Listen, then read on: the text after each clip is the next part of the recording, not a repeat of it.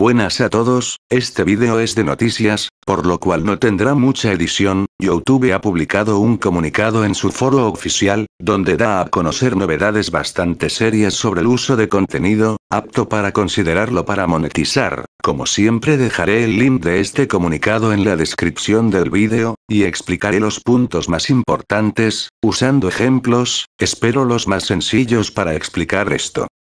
Digamos que usted sube una canción compuesta hace 100 años, toda esta música ya no tiene derechos de autor, y digamos que esa música es una obra muy famosa de Beethoven, si usted sube esa canción tal como esta, YouTube lo considera no apto para monetizar, porque usted como creador no le ha puesto un valor adicional, sumando que al ser un contenido muy famoso, otros canales ya lo han subido, así tu canal entra en la infracción de duplicación, por ser muy repetitivo,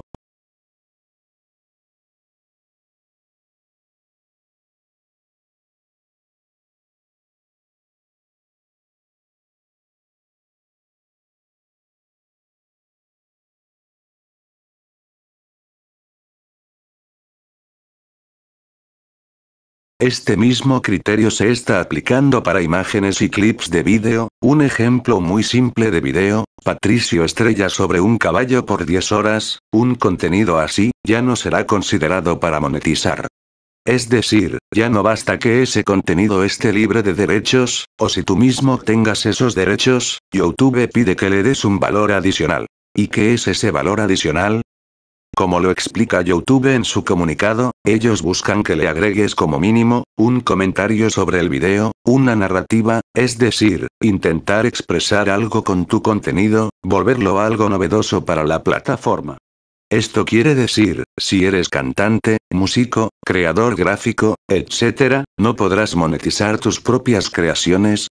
no, si es una novedad, no deberías tener problemas, porque otros canales no tendrán ese contenido, pero el problema que yo le veo, es que todo esto va a depender del criterio de la persona que revisa tu contenido, un humano es quien revisa tu canal, por ello, si la pieza musical, clip de video, imagen, lo que es tu creación, YouTube sugiere que en la descripción del vídeo, pongas toda la información necesaria, para que al momento de revisar tus vídeos, les facilites identificar si es tu creación, porque de lo contrario, tu canal pasará a una segunda revisión, hasta que YouTube esté seguro de quién es la propiedad del contenido que muestras, todo esto lo explico en este video, del por qué un canal pasa a una segunda revisión, basada en la información dada por los técnicos de YouTube.